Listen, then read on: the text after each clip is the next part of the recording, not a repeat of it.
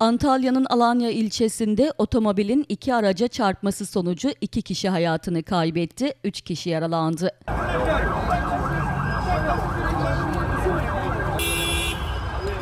Oğuzhan Yılmaz yönetimindeki 07 NCT 09 plakalı otomobil Hacet Mahallesi D400 karayolunda önce refüje ardından karşı şeritte seyir halindeki HC'nin kullandığı 07 HYC 80 plakalı otomobille BS idaresindeki 07 AED 873 plakalı hafif ticari araca çarptı.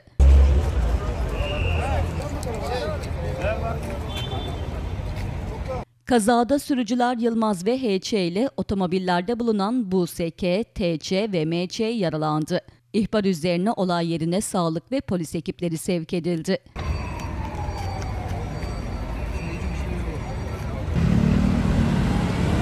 Hastaneye kaldırılan yaralılardan 22 yaşındaki Oğuzhan Yılmaz ve 19 yaşındaki Buseke tüm müdahaleye rağmen kurtarılamadı. Diğer yaralıların sağlık durumunun iyi olduğu öğrenildi.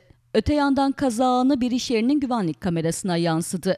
Görüntüde 07 NCT 09 plakalı otomobilin refüje çarptıktan sonra karşı şeride geçerek diğer iki araca çarpması yer alıyor.